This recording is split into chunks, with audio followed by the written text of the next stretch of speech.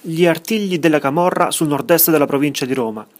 Il comando provinciale della Guardia di Finanza ha sequestrato 44 milioni di euro di beni mobili ed immobili tra Fonte Nuova, Mentana, Guidonia Montecelio, Monterotondo, Sant'Angelo Romano e nell'area della capitale, oltre che in alcuni comuni della provincia di Napoli. I beni si parla di qualcosa come 152 tra fabbricati e terreni, 14 autoveicoli, numerosi rapporti bancari, postali, assicurativi ed azioni, erano tutti riconducibili direttamente o indirettamente a Michele Palumbo, Angela Sequino e Francesco Biagio Russo, stretti fiduciari del capoclan Feliciano Mallardo, che figuravano come imprenditori capaci di accumulare un patrimonio sproporzionato rispetto alle modeste dichiarazioni dei redditi che denunciavano. I tre sono adesso indiziati di aver organizzato nel Lazio una vera e propria cellula camorristica federata. Gli accertamenti patrimoniali hanno permesso di ricostruire un vero e proprio gruppo imprenditoriale composto da diverse società, attraverso le quali venivano effettuati molteplici ed ingenti investimenti, principalmente